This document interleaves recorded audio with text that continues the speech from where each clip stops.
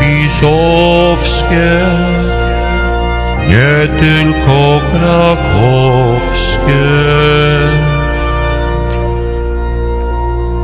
Nie tylko krakowskie są kurwy pisowskie. Jeszcze gorsze kurwy są te rydzykowskie.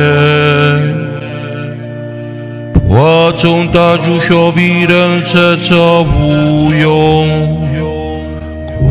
Kłaniają się nisko tym pisowskim chujom.